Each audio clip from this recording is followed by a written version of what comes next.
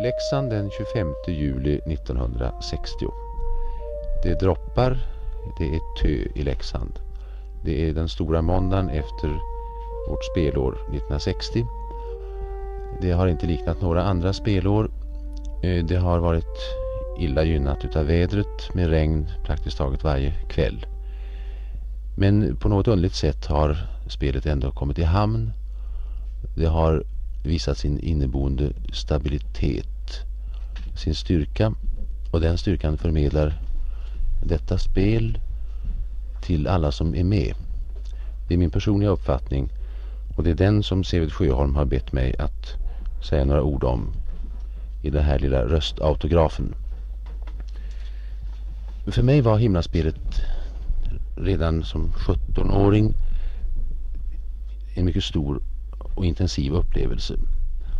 Jag kan utan att ta till överord säga att det var mitt, mina gymnasistårs verkligt genomgripande och omvälvande upplevelse. Jag var teatertokig. Jag var i Uppsala. Jag beundrade på håll Gösta Folke och Rune Lindström. Mm, och min stora dröm var väl kanske att få gå till teatern. En liten inblick i vad teater är och kan vara och vad det kan ge, det gav ett, en hård utav människor, färgstarka människor som kom till Uppsala i oktober 1941 för att spela ett spel om en väg i universitetets aula. Där fick jag vara med därför att Gösta Folke behövde springpojkar både på scenen och bakom scenen. Och jag tog springpojksjobbet på entreprenad. Jag försökte göra mig nyttig. Eh, jag har inte ångrat att jag gjorde de försöken då. Därför att sen har himlaspelet för mig varit en årlig injektion. Ett behov som jag har fått tillfredsställa. Det här spelet har vuxit under 20 år och jag vill väl hoppas att jag själv har hunnit mogna på de här åren. Från springpojke kunde jag så småningom efter en dramatisk rymning från prästgården i Rättvik på julnatten 1941 eh, uppleva den stora drömmen att få stå på Dramatens scen som andre herde. Eh, det var kaos och kritiskt i familjen efter den händelsen men det redde ut sig. Himlaspelet har en förmåga att under åren breda varmt täcke över dem som är med där. Antingen direkt eller indirekt. Sen följde det intensiva året 1942 när jag lyckades utan att, hoppas jag, vara streber trappa lite uppåt i rollerna. Jag fick till och med spela Herrans ängel på Dramaten en gång. Det stora äventyret under de första åren var nog för oss allihopa resan till Helsingfors och Svenska Teatern i oktober 42. Vi var vi kände oss lite grann som ja, missionärer är kanske fel ord. Vi kände oss som på något sätt kontaktknytare mellan våra eh, svenska vänner där i Finland som var djupt isolerade under kriget, under det andra kriget Mm, vi spelade för krigsinvalidernas brödraförbund men eh, det rent pekuniära tror jag inte var huvudsaken. Utan det viktigaste var att vi kom, att vi gav dem en liten injektion av vad svensk teater sysslade med just då. Eh, jag glömmer aldrig de dagarna, de mera yttre händelserna med resan över, med båt över finska, eh, inte Finska viken utan Bottenviken med ubåtar och sådana saker. Och jag glömmer heller inte vårat spring och våra uppvaktningar för alla kommissioner hemma i Sverige för att få föra ut våra dräkter, våra gamla laggkärl och vad det nu var. Hur det var så fick vi även ta med oss trägrisar och annat för kung Salomos gästabud. Nå, ändå har väl kanske då, trots Dramatengästspelen och trots Finlandsbesöket har perioderna i Leksand varit de stora händelserna för mig personligen. Det här uppe jag har fått mina vänner. Jag brukar räkna mig som rättvikare men på något underligt sätt så är det alltid Leksand jag kommer tillbaka till. Här har, jag, har vi vad vi brukar på skoj kalla våran herrklubb på somrarna under 14 dagar. Här träffas vi Rune och Gösta och alla de andra. Vi har vi har vuxit tillsammans till ett ganska fint gäng tror jag. Som för varje år tror jag också kunnat föra ge himlaspelet mer och mer. Vi har blivit lite rundare om magarna. Vi har grånat i tinningarna. Vi har fått dryga och stressande jobb. Men hur det är så kommer vi tillbaka. För min del så brukar jag dela in året i två terminer. Det är vårterminen som slutar med himlaspelet och det är den ganska tunga höstterminen som slutar med julafton.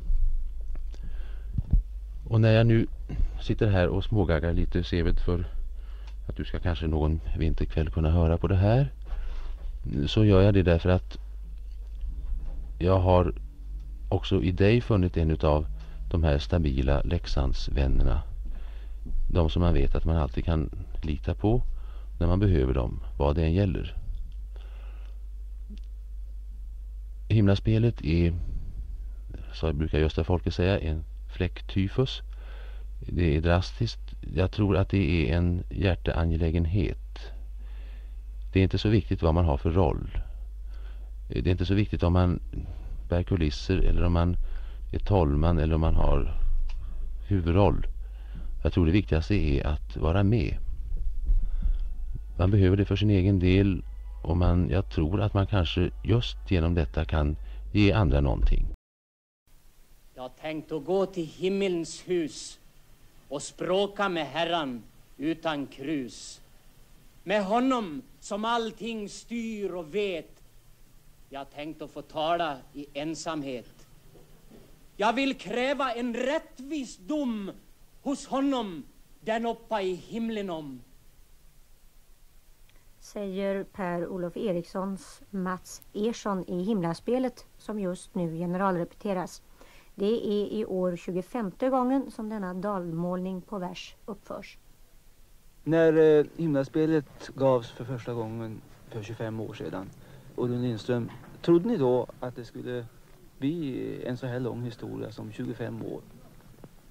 Ja, det vågar jag nu inte svara på vad jag trodde den gången. Men att jag trodde på någonting, det var ju alldeles säkert.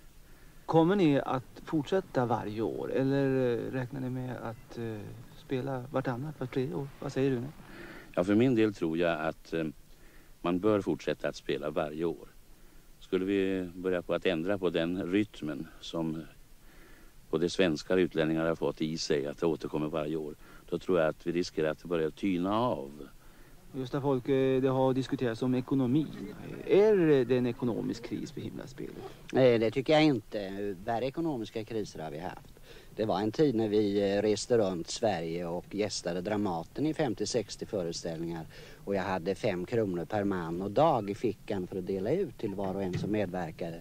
Och då hade ändå alla sina jobb att sköta hemma. 25 år, blir det 25 år till? Det får vi väl hoppas, även om inte vi är med då.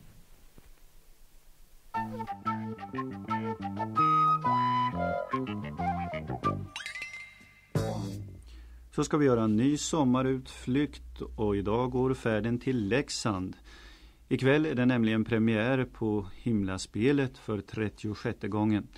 Och vi ska träffa dels spelets regissör Gösta Folke och en av aktörerna. Ett spel om en väg som till himla bär. Himlaspelet, Rune Lindströms storverk, spelas i Samilsdalsgropen i Leksand den 16 till 25 juli i år för 36 året i rad. Gösta Folke, nära vän till Rune Lindström, med från starten, idag spelets regissör. Kan du berätta lite grann om hur himlaspelet kom till? Eh, Rune Lindström skrev det som ung eh, studerande i Uppsala under ensamma kvällar och nätter. Gjorde det som sex tavlor avspeglande dalafolkets tro. Eh, av en händelse så blev det så att det kom att uppföras här i Leksand första gången. Det skulle annars haft premiär i Uppsala med studenter från Uppsala. Vi var unga pojkar då och en fem, sex stycken plus att vi kopplade in amatörskådespelare här, dansare och spelmän. Och urpremiären blev alltså här uppe och det var en mycket lycklig lösning för det är här det hörde hemma från början. Ja, himlaspelet har ju blivit otroligt populärt. Har du någon uppfattning om hur många människor som kan ha sett det hittills? Det är väldigt svårt. Det finns kanske de som vet det bättre än jag. Men eftersom vi har hållit på i 35 år och rest land och rike omkring och här spelat för stora människomassor, turnerat i Sverige, turnerat i Finland och Norge och så vidare. Så skulle jag tro att på de här 35 åren så handlar det om siffror mellan 750 och 800-900 000. Rune Lindström gick bort 1973. Finns något av hans anda kvar i spelet idag? Eh, jag kan inte se annat än hans anda finns helt kvar. Eh, kanske till och med fördjupad genom den distans det får för alla de medverkande när en så stor personlighet går bort som har burit huvudrollen, som var diktaren och som hade gjort dekorationerna. Eh, jag tror han, om han såg ner på spelet förra året, eh, var mycket lycklig över det därför att det förvaltas väldigt fint av människor som han hade stort förtroende för. Den största krisen i himlaspelet har inte varit regn och åska och dålig ekonomi och besvär att få ihop alla människor som medverkar. Utan det var när Rune gick bort. Att vi då hade sån tur att innan han gick bort fick spela den roll han egentligen från början ville spela. Nämligen Kurbitsmålan. Den hade han skrivit för sig själv. Nu blev det inte så under alltså 30 år men de två sista åren när han inte tyckte att han orkade med Mats så spelade han Kurbitsmålan. Det var hans stora lycka. Karl-Åke Eriksson, en av spelets aktörer. Han spelar i år Mats för tolfte året i rad. Vad tror du Karl-Åke om den här blandningen av proffs och amatörer? Jag tror den är mycket lycklig och jag tror att himlaspelet där har varit banbrytare ända från början. Och det fungerar ju alldeles utmärkt. Har alltid gjort, gör och den debatt som nu förs om att just blanda amatörer och proffs i sådana här sammanhang. Som sagt, där har himlaspelet varit banbrytande. Vad är det annars som gör himlaspelet så populärt? Jag tror att det är det svenska spelet om en var. Det handlar om alla människor. Alla känner igen sig.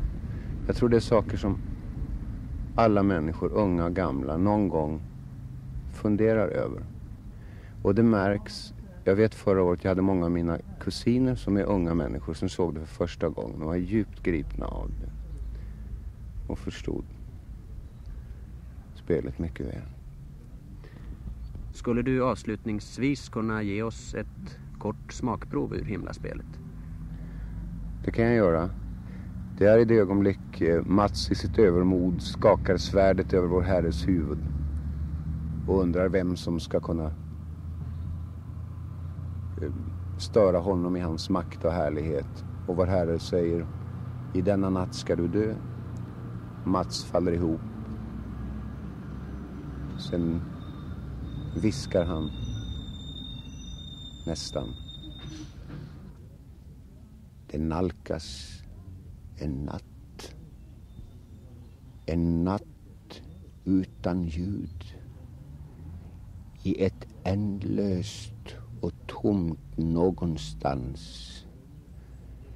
Jag går mot ett land som jag kommit ifrån. Där himmel och jord icke fanns. Det nalkas en man.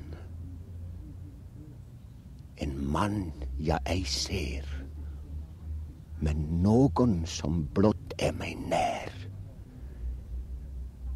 Jag går mot en gräns. En gräns till ett land. Och något ska hända mig där.